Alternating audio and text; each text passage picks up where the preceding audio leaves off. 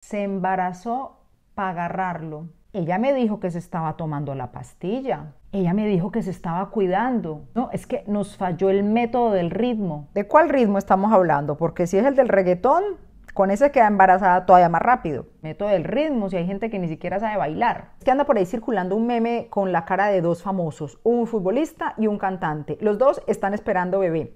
No, no entre ellos, cada uno con sus respectivas parejas. La cara del futbolista así, muy feliz, y la cara del cantante como encartado, como que no está muy contento con la situación y dice, qué bonita es la cara de un hombre cuando sabe que va a ser papá. Por supuesto, el meme anda por ahí haciendo de las suyas, queriendo demostrar que el futbolista está feliz porque va a ser papá, mientras que el cantante está, vea, pailas. Claro que ninguna de las dos fotos corresponde al momento del que se está hablando y se nota claramente que la única intención del meme es atacarla a ella y dejarlo a él como el pobrecito de la situación, la víctima. Pues yo lo vi en un video con su pareja anunciándole a sus fanáticos que iban a ser papás y él se veía muy feliz, tan feliz como ella. Pero el tema no tiene nada que ver con los famosos porque este no es un espacio de entretenimiento ni de farándula y no tengo ningún interés personal en estos famosos porque no son mis amigos, ni los conozco. Como seguramente tampoco los conoce el que se inventó el meme. Y no solamente el que lo inventó, el que lo anda compartiendo por ahí como si fuera muy chistoso. Porque no avanzamos, porque todavía hacemos chistes tontos referentes del matrimonio y de los embarazos, haciéndolos ver a ellos como los sacrificados de esta historia, los que se casan siempre obligados, los que tienen los hijos porque ella se los empaquetó, porque lo engañó, porque se lo encholaron. No, si yo no estoy diciendo que no haya mujeres que sí se embarazan creyendo que con un hijo van a mejorar la relación, con otro hijo u otros hijos más y otro y otro y otro el hombre va a permanecer ahí, como si un hijo agarrara a alguien. Claro que sí, sí hay de todo, pero es que ella no se embaraza sola. Para poderse embarazar se necesitan dos.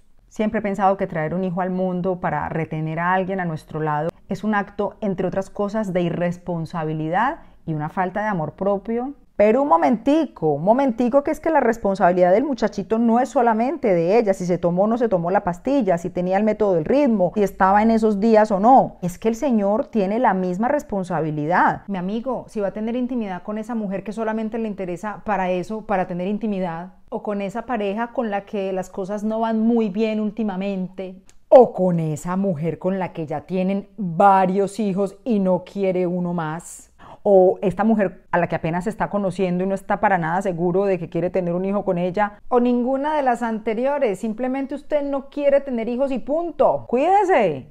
Pero cuidarse no es preguntarle a ella si se está cuidando. Y en estos días que estamos regresando a lo básico, valdría la pena desempolvar la cancioncita aquella de pon, pon, ponte el sombrero, pon, pon, ponte el sombrero. O la campaña tan famosa que hubo en Colombia hace tiempo de los dos pollitos, el pollito y la pollita que iban a salir y ella le decía, sin condones ni pío. En lugar de estar creando y compartiendo memes machistas en los que se le adjudica la responsabilidad de los embarazos únicamente a las mujeres.